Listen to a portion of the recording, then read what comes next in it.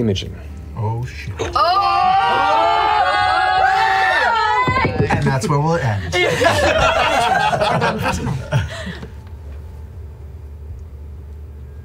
Exhausted, sleep comes to you quickly. And you feel the gentle touch of the tall grass against your fingers. You find yourself walking through the, beautiful green fields of the home village of Jelvan. The breeze is cool and gentle, and you can watch the horses running through this plateau valley alongside the climbing Talent Highlands. You feel the nudge on your left, turning to see the snout of Flora, your favorite mare, acknowledging this look for a snack. I reach in and give her something. Bertrand, you are wandering at a zigzag through the streets of the Spire at night.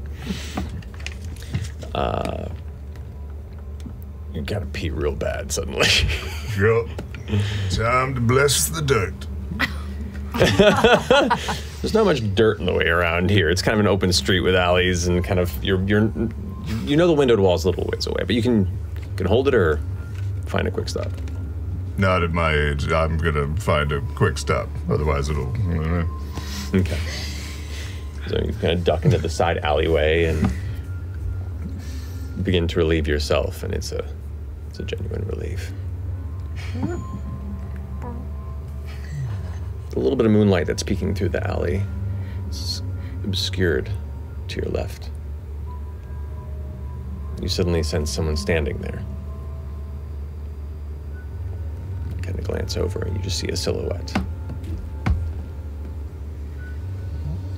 Do I recognize this? Make a perception check with disadvantage, you drunk asshole. Oh, Guys. Suck at perception. Six.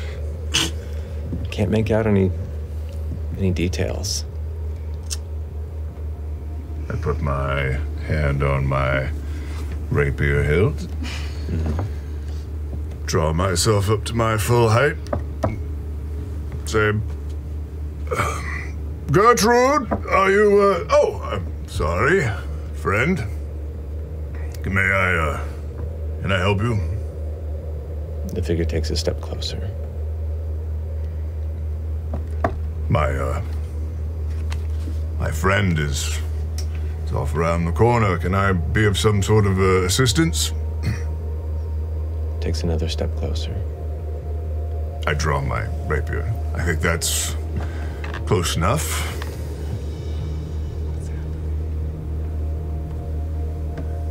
You sense this figure looking at you, and as they get closer to you, the the full height of your stance, you can tell the figure is a bit shorter than you. Cloaked of hood maybe comes up to about your shoulders. What'd you say? Is it this dick? Is it the fucking door? Is it the door? Shorter. Why don't we have a conversation?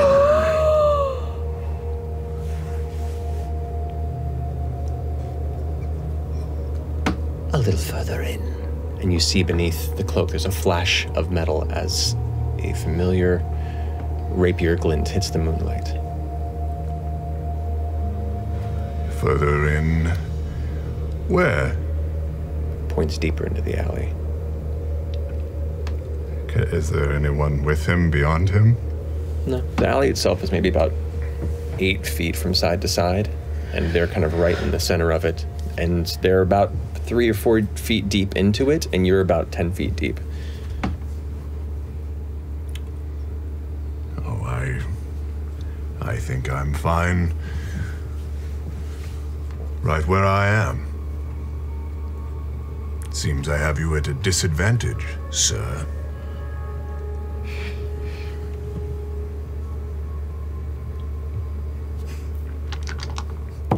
Yeah. What could it be? In a sudden flash of quick movement, unnatural speed, the cloak whisks and you feel a twinge of burning pain in your chest as you look down at the hilt of the rapier that's now up against your chest.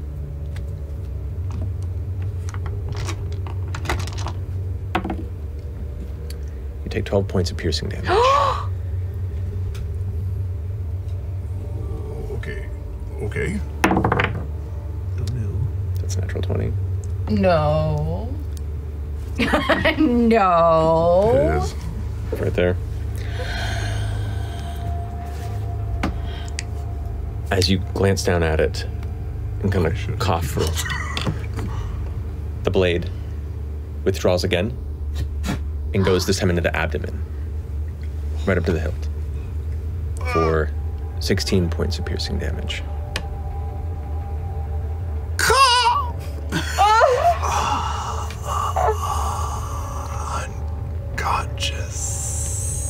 Imogen. Just then, the wind suddenly starts to change. Harsher, colder.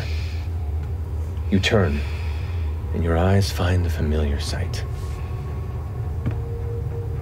The horizon, entirely consumed in red. Swirling, hungry clouds filling the sky and coming fast. Silent flashes of lightning in the distance as you stand motionless, watching the streaks of dark crimson rake across the heavens above you, darkening it, reaching for you. Flora immediately flees.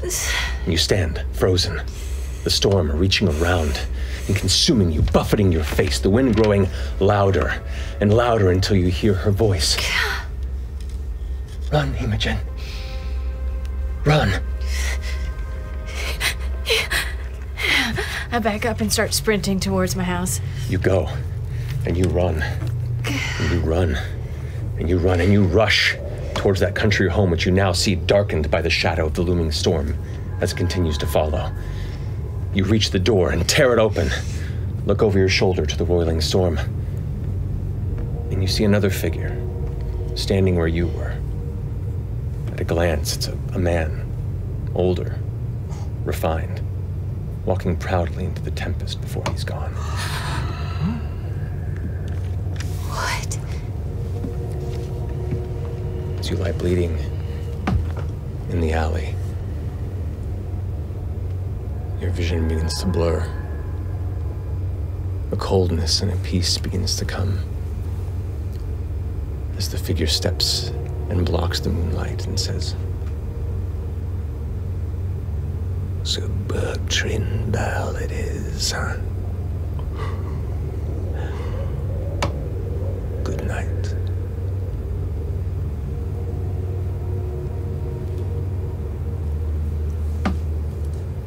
And that's a run for tonight's episode.